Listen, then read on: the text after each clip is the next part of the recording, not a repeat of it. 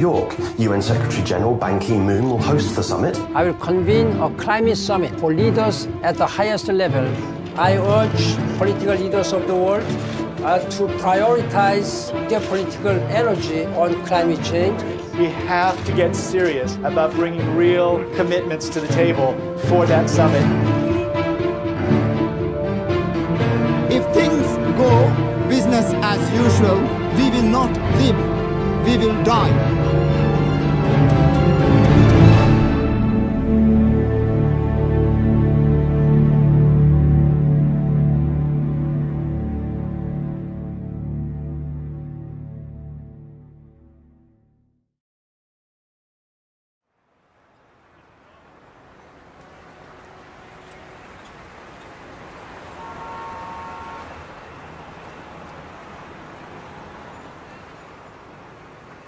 On September 23rd, the United Nations is holding a historic climate summit where they've invited world leaders and heads of state from around the world.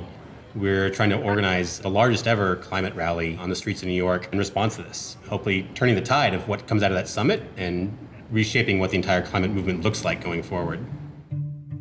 Climate tipping points are scary, but if we stay connected to each other, we can build the largest climate mobilization in history. We all have power to create the movement tipping point on climate change, the one that takes our leaders from this place of inaction and puts them on a journey towards saving the planet.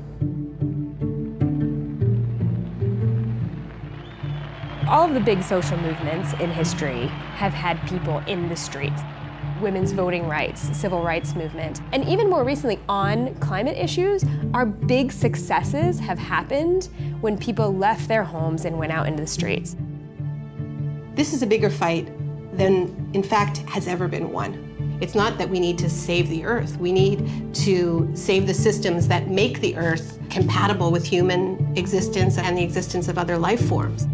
This is the fight of our time, but none of us should exactly have to be activists about all this. In a rational world, the fact that scientists had said the worst thing on Earth is happening now, and here's what you can do to stop it, that would have been enough to push our systems into action. Yeah, of all the things that probably get me most upset, it's when people start presenting climate change as if it's something new. The science behind our understanding of man-made climate change is very, very old and very well established. So the task we've taken on is documenting this history to help us understand where we are, how we got here, and how we can change course. Scientists have known for more than 150 years that carbon dioxide was a greenhouse gas. Fourier came up with this notion that there were gases in our atmosphere that allowed sunlight to pass through like a window, but then when sunlight bounced off the Earth's surface, they trapped the heat in, right? So you had now this establishment of what we now call the greenhouse effect. In the 1850s, John Tyndall made laboratory measurements of the absorption of heat radiation by carbon dioxide. And he concluded that if you change the CO2 in the atmosphere, it's going to affect the planetary energy balance. Tyndall was the one who really came along and proved that carbon dioxide was a natural thermostat that helped set our planet's temperature. In the late 1800s, it was the great Swedish chemist Arrhenius who first did the calculations about what would happen as we, as he put it, evaporated our coal mines into the air.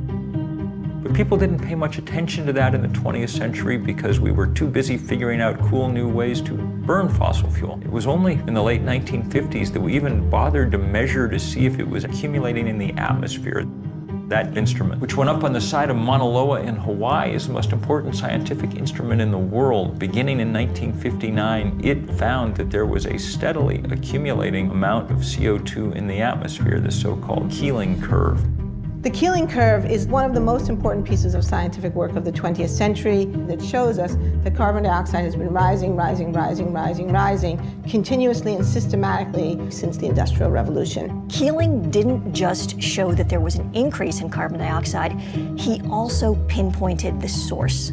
And what Keeling showed so incredibly was that roughly one out of every four CO2 molecules in our atmosphere today were put there by us. Just a year ago, we passed uh, 400 parts per million of carbon dioxide in the atmosphere.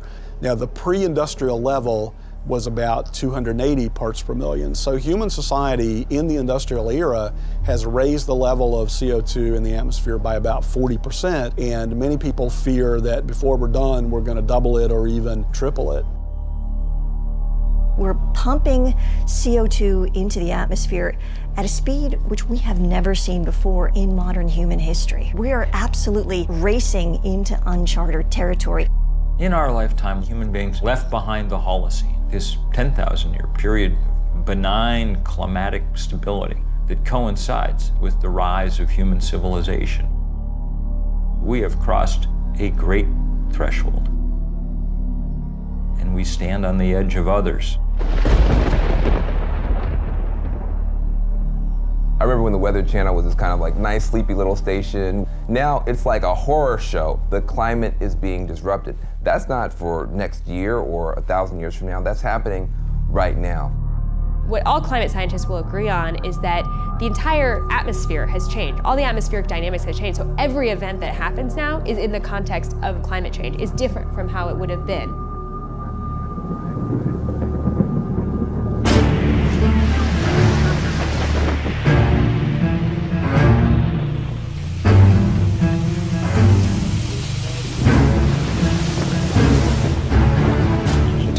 Slammed the Philippines with winds of 195 miles per hour. That's higher than the winds from Hurricane Sandy and Katrina combined. The world is mobilizing to help the Philippines, but just a trickle of food and water and medicine has reached the victims of Typhoon Haiyan. More than a million people were forced to flee their homes, many now trying to salvage what's left. Hundreds of thousands are thronging relief centers, desperate for life's necessities. Many residents covered their faces to mask the smell of the dead while they searched for relatives in some of the hardest hit areas. This is one of the top storms ever seen on this planet.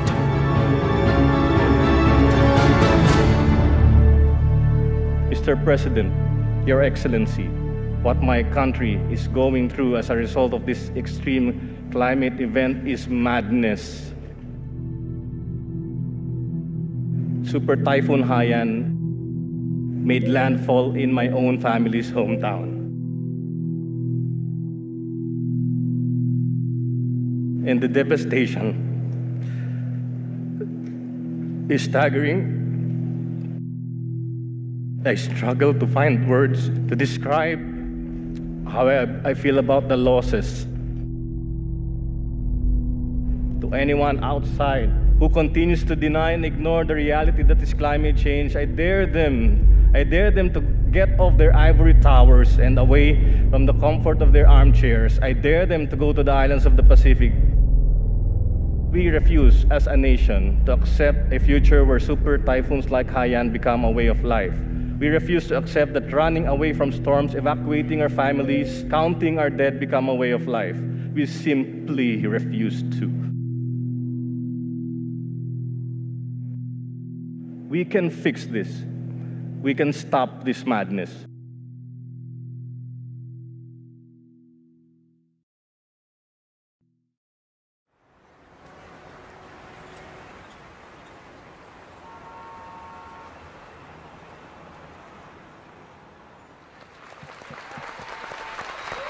Hello, hello, hello.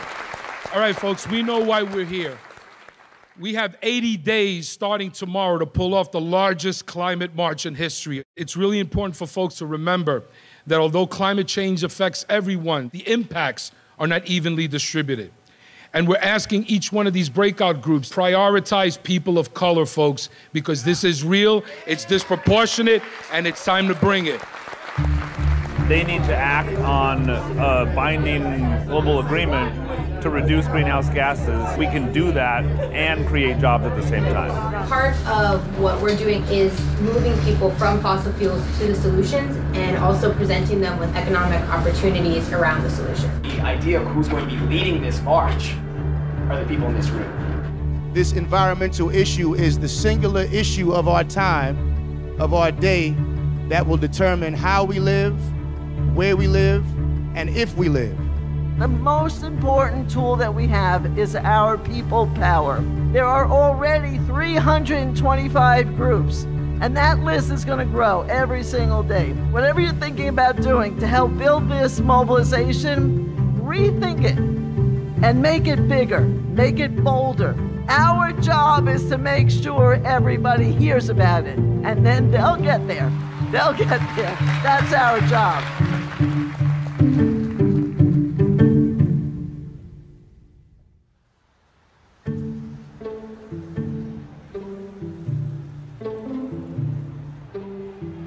In 1982, the UN convened a first uh, special session on nuclear disarmament. And we came together and said, when the representatives of governments all around the world gather in New York City at the UN, we need to be on the streets making our voice heard. New York City's anti-nuclear demonstration turned out to be the biggest political demonstration in U.S. history.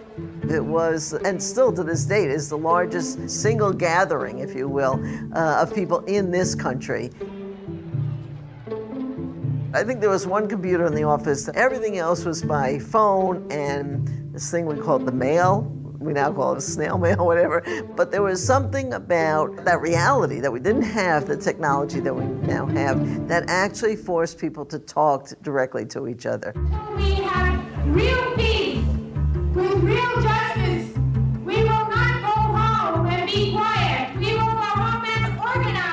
One of the really interesting things about that demonstration is that some 600 local groups were formed, and many of those groups lasted for years afterwards. To me, the real power of that day was the organizing experience that led up to it, and then the organizing that came out of it.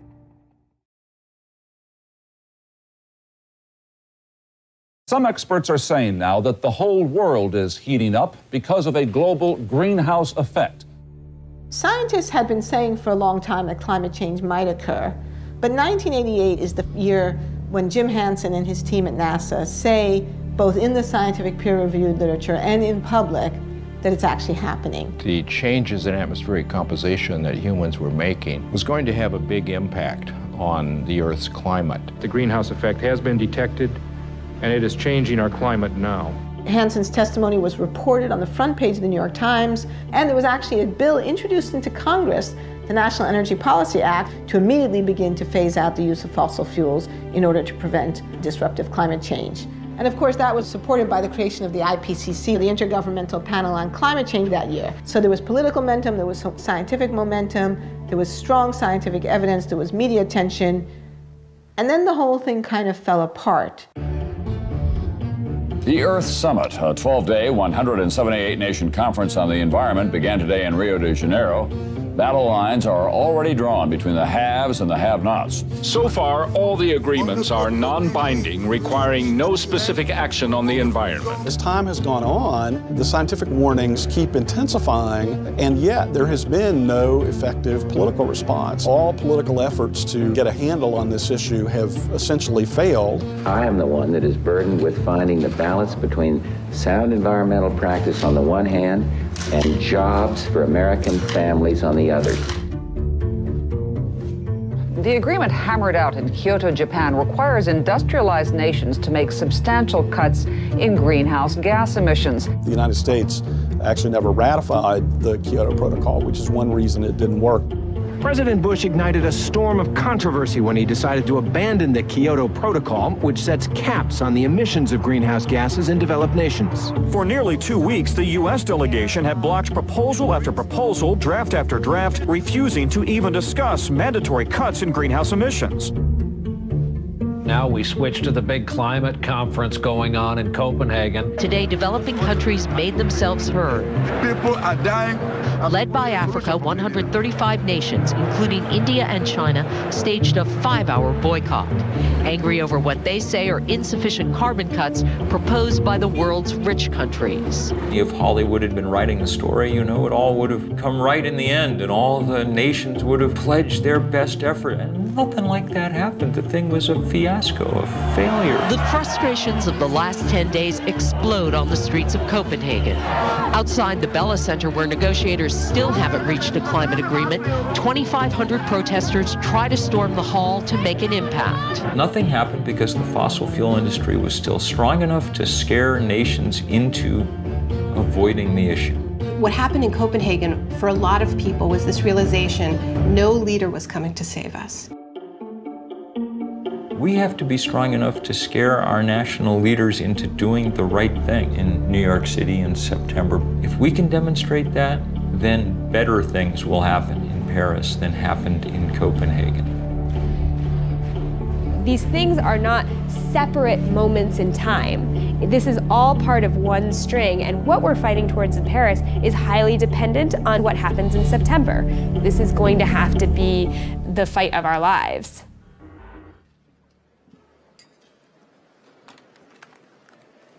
Welcome to this press conference to present the report of IPCC Working Group 3 on mitigation of climate change. If we really want to bring about a limitation of temperature increase to no more than 2 degrees Celsius, there is then the need for an unprecedented level of international cooperation.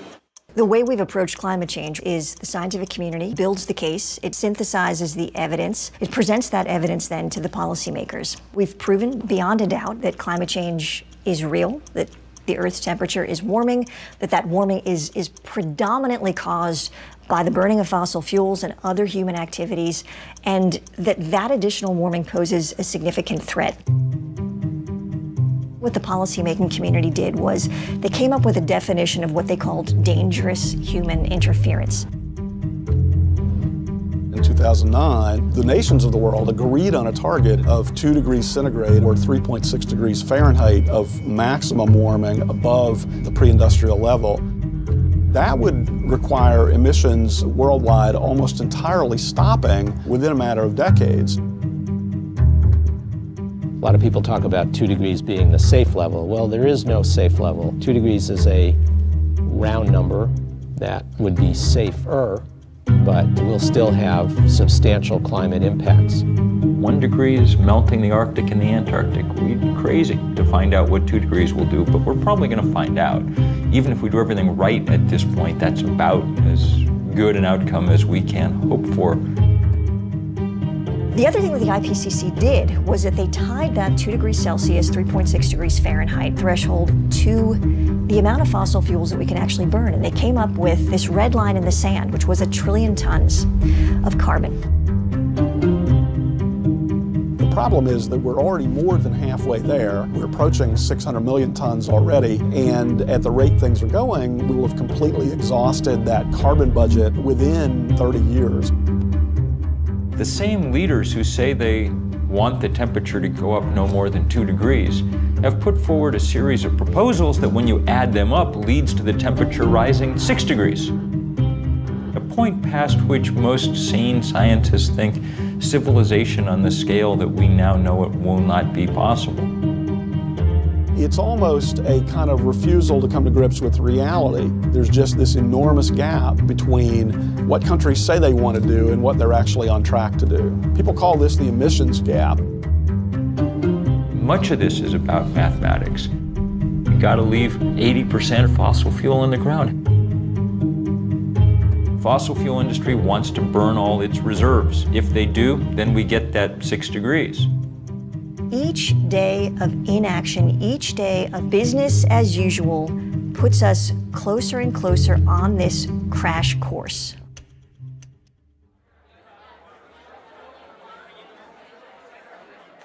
We're, we're two months out from this demo. Um, obviously, we all know in this room a tremendous amount of work has happened, is happening every day, getting the word out, organizing people, mobilizing people. At this point, every day counts. And every day when we miss an opportunity, it's gone. Because it's not just a one day march, it's our long term ability to build a strong climate movement that we need to invest in.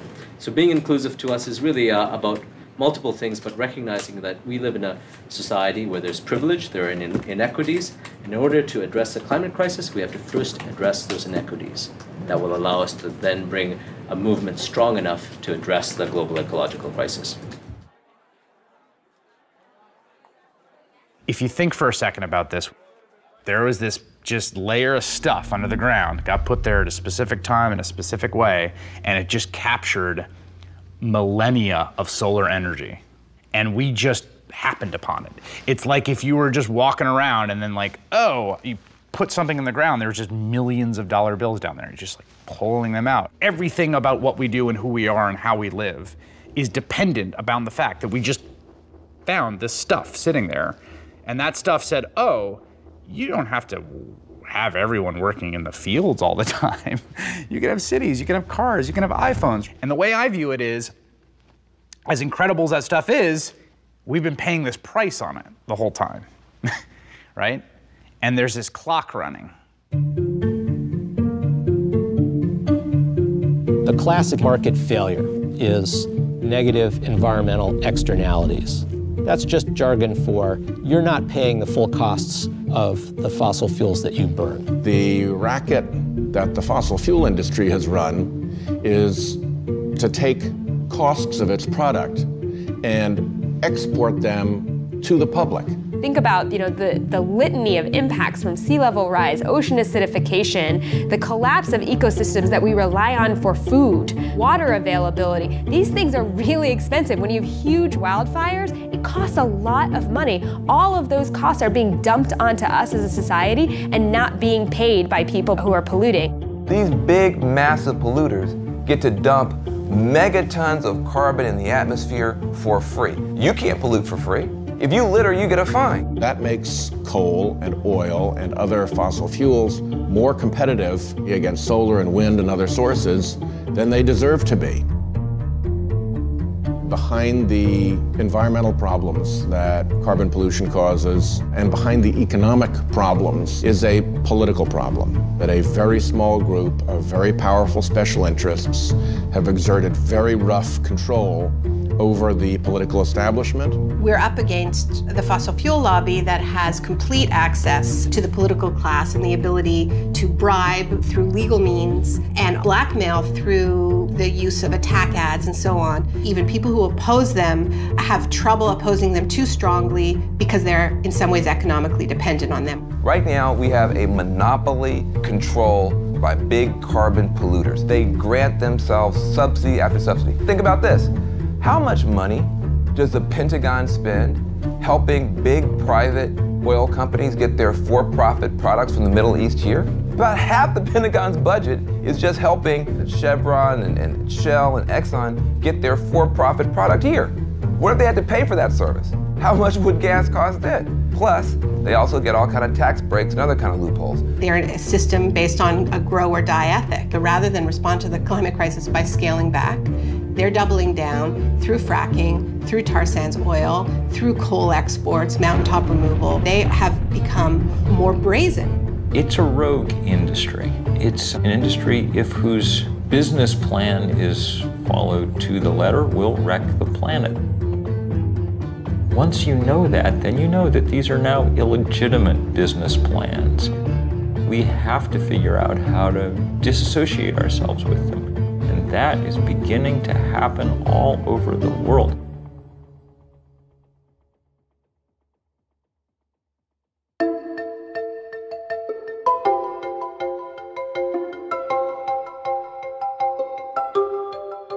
On the great lawn of Central Park, I was up on a stage probably 70 feet in the air, looking out at that sea of people stretching out farther than the eye could see. The crowd estimates later were larger than a million people. April the 22nd, 1970. The grassroots mobilization, which we recall as the first Earth Day. 20 million Americans called away from their jobs and their classes into the streets of their communities. When Nixon was looking at television at these huge crowds in city after city after city across the country, he apparently muttered to Ehrlichman, man, a lot of those people have got to be Republican. And Republicans needed him to do something for them on this issue, he felt, and it was Nixon, arguably one of the most anti environmental presidents in American history, who felt compelled to sign the Clean Air Act.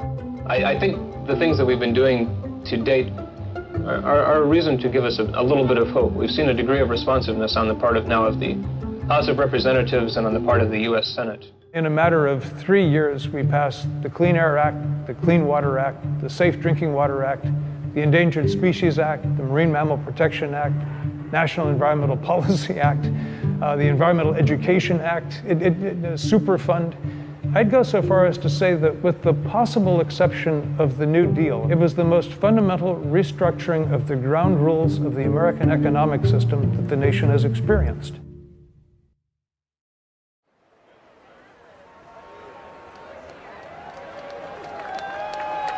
folks, we are 50 days away from the largest climate march in history. Are y'all ready? Yeah! This is not just about the environment. It's about the community. It's about public health.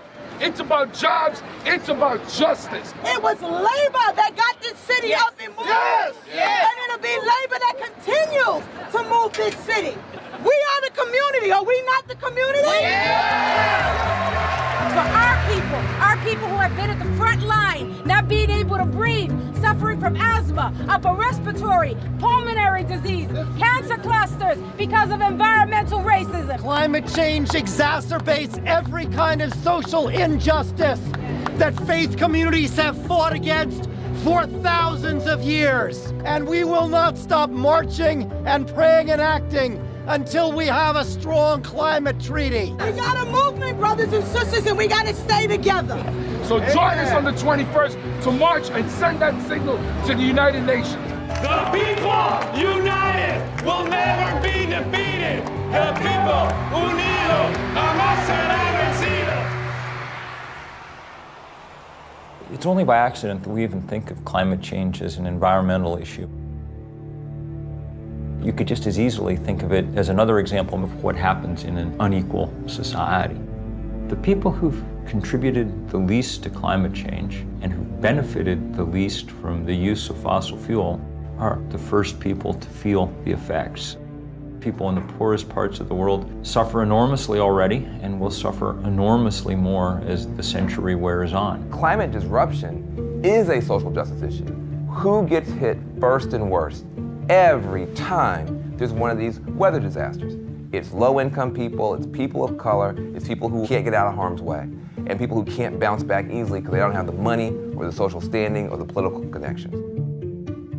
Our communities are disproportionately impacted we're all seeing that it's the indigenous people, the people of color, the low income people who have historically suffered the burden of so many other politically driven crises. There are so many countries that have been systematically plundered over hundreds of years. And this is often described as an ecological debt, climate debt. The whole idea that there are disposable places was always a racist idea, the idea of sacrifice zones just treating people in places like garbage. Place where it's hardest for it to sink in is in the suburban United States. We're insulated against the natural world. That's what the suburbs really are, a way of making you not notice the natural world very much. And we're insulated in those places by wealth. At least we think we are.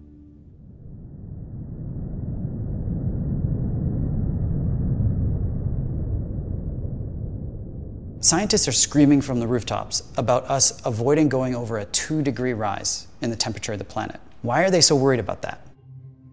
If we go over that amount of warming, there are feedback loops in our ecosystems, tipping points that climate change could spin out of control. And it happens like that. There are switches that can be tripped where suddenly you are in brand new territory and you don't even begin to know what to do about it. This is not a linear kind of problem that we're dealing with. This is very much an exponential kind of problem. Right now, we're on the edge of three major tipping points. The first one is the Arctic ice cap. That ice cap's like a mirror. It reflects the sun's light off of the Earth and, and keeps it from warming us up. But as it melts, you get a smaller mirror, which means a warmer Earth, which means more melting, which means more climate change. Another example is Arctic methane. We've got a gigantic amount of methane gas frozen into the tundra. and it is 50 times as toxic as CO2 is. It's CO2 on steroids. As it warms, and that methane gets released, it then causes global warming to get worse, which means it warms more, which means more methane released, which means worse warming, and all of that process spins out of control. Another example of a tipping point is ocean acidification. As you get more CO2 in the atmosphere, a lot of it actually is going into our oceans. And a lot of stuff, like plankton, can't live in that kind of acidified water. And plankton is the basis of the food chain. If the plankton die, we lose the whole ocean ecosystem.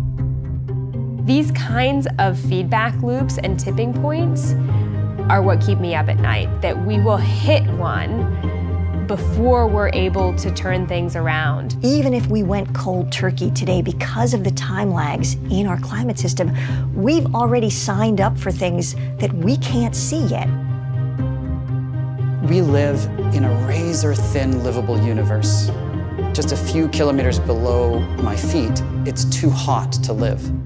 Just a few kilometers above my head, the air is too thin to breathe. It's not about a few more droughts and a few more storms. It's about a catastrophic shift in this fragile balance of our biosphere that threatens everything we love.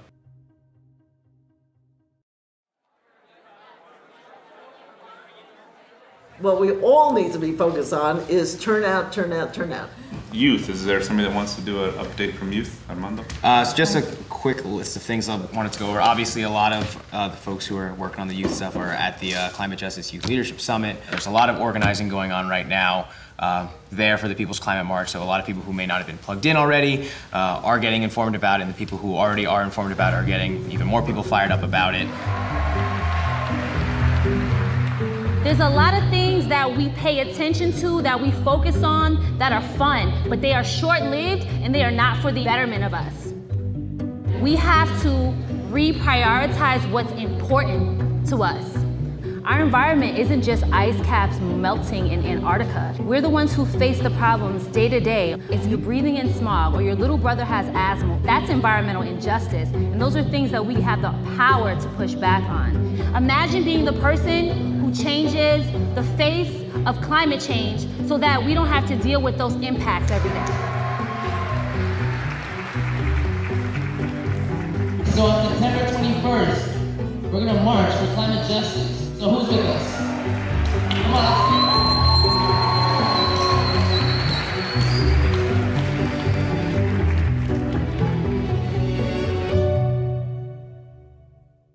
Okay, all right. Yes, yes, we, we pull the fossil fuels out of the ground, we put them in the incinerator, they put the carbon in the sky, it warms the earth, lots of bad stuff's gonna happen, heat waves, extreme weather, floods. Okay, sure. But I mean, really, is that the thing I care about most? You know, there's all these other issues in my life that are more pressing. For someone who is engaged in a struggle for a higher minimum wage or worries about healthcare, it's understandable that these molecules floating around the air seem invisible and abstract. Humans have this thing that we call a finite pool of worry. You've got your mortgage you've got to pay, you've got your kids you've got to take care of, and they tend to be more immediate. We respond to things that feel incredibly urgent, like a gun to the head, a stampede of wild elephants, right? Climate change is a completely different kind of risk. It plays out over these very long time scales. It's really hard to perceive it as a very urgent threat.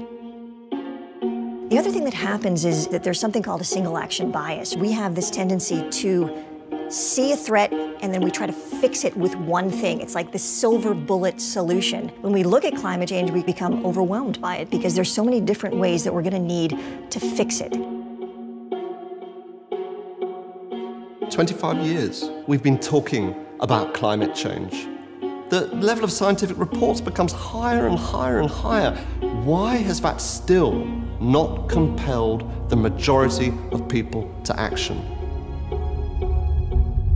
Cognitive psychologists have been mapping the processing systems within our brains, and they found that there are two parallel and deeply interlocked processing systems. The rational side, the analytic side, which deals with information, facts, data, And we have another side, which is a much more intuitive and emotionally driven side. It is that emotional system that moves us into action. The challenge for climate change is how do we get something that is so based in the science to cross over into the side which makes us feel something. People are reluctant to stand up and to take action if they don't see that the other people around them are taking action. And that is why it is absolutely critical that there are people who are seen to be doing something. They are creating the breakage.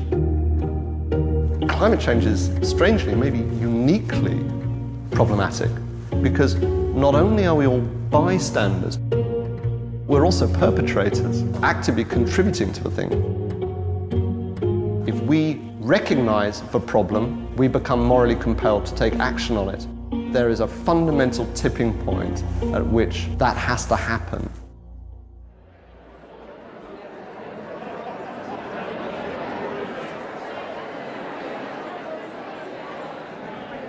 Change doesn't happen because people decide to stay home and click like on Facebook. Change happens because people like you and I decide to get involved. We didn't want to leave it to world leaders. Their track record is not very good in dealing with this question. I am a trade unionist and I am an environmentalist, and I see no conflict whatsoever in those two things. It's in our core self interest as a trade union movement to help build the path to a sustainable future and get on the right side of the climate change issue sooner rather than later.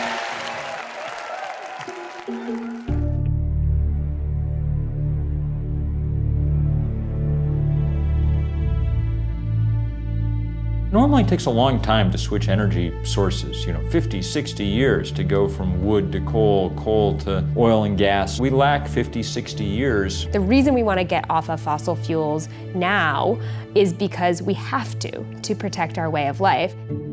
We need a vision for what the post carbon economy looks like that is inspiring enough and delivers enough in terms of jobs, in terms of new opportunities, in terms of better health. It has to be exciting. There are many more jobs available to people who are going to be building wind turbines, retrofitting houses so they waste less energy.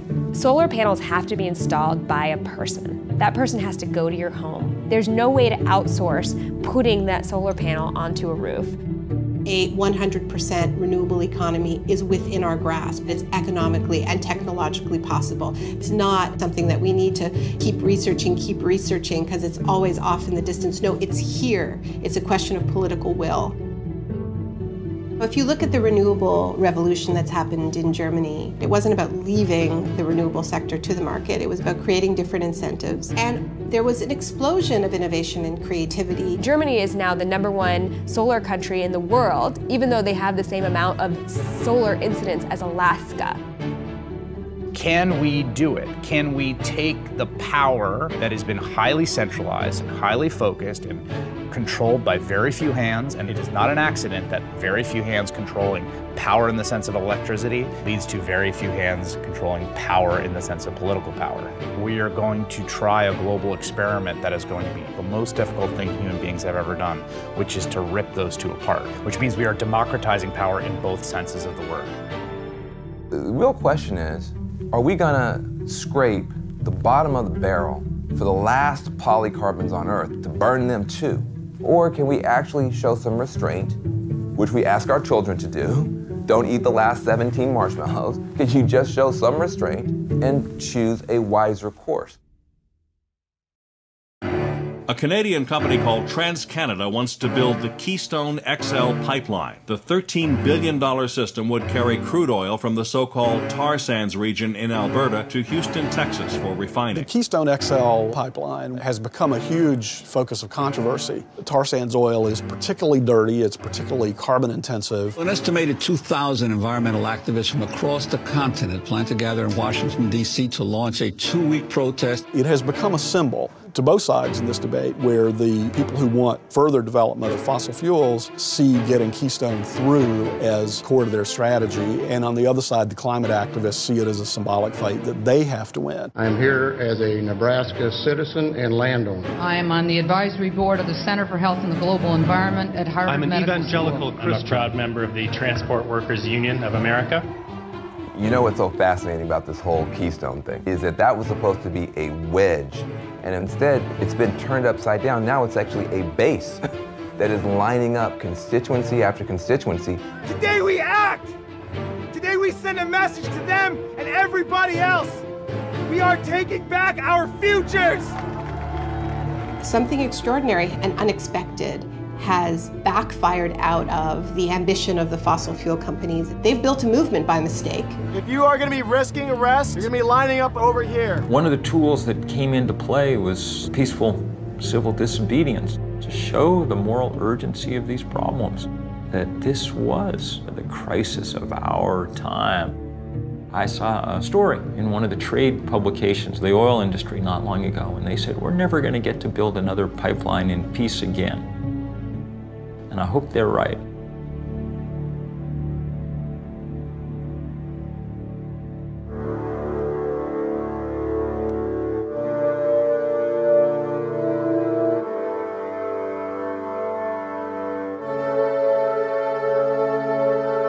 As scientists, we study this out of this fascination and kind of awe of this whole system that, that we call home.